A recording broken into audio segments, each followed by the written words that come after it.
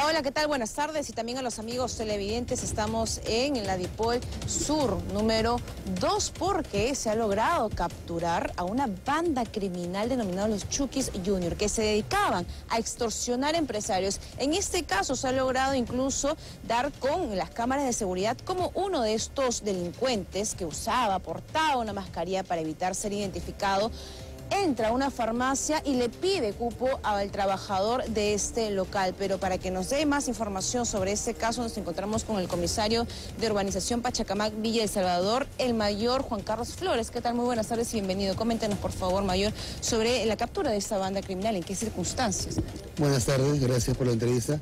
Bueno, eh, a raíz, como ya lo mencionó usted, de una extorsión a una librería, es en realidad, personal policial que pasaba por el lugar, tomó conocimiento del hecho comunicó inmediatamente a la comisaría para poder darle el encuentro en la avenida 200 Millas con avenida Marilena Moyano, alrededor de Lobo Oasis, para poder este, intervenirlo.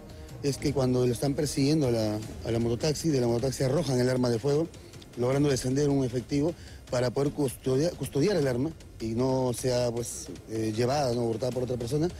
Y también eh, vemos lo profesional, ese efectivo de poder este, cuadrarse ahí a cuidar el arma y aún así observarla, la intervención eh, en ese momento el alférez que intervino en la mototaxi y luego con posterior apoyo de nosotros, eh, se logró la captura de tres personas en ese momento y luego se identificó a través del video donde le solicitan el dinero a la, a la persona que está atendiendo la librería, a la cuarta persona, identificándolo. ¿Hace cuánto tiempo este local estaba siendo blanco de esos extorsionadores?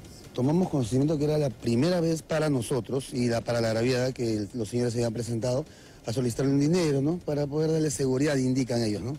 Cuando es todo lo contrario, obviamente es una extorsión. ¿Se hizo la denuncia? ¿Ya había una denuncia también? Mm, se hizo la denuncia en la fragancia delictiva, posterior a la captura. Ya han sido puestos a disposición de la de Pincri y en conocimiento del Ministerio Público. ¿Antecedentes de estos integrantes? Dos de ellos este, tienen un antecedente por robo de camioneta en el 2021 y el cabecilla que es Brandon John Huaycachani Polo, alias el Chucky, tiene por robo grabado.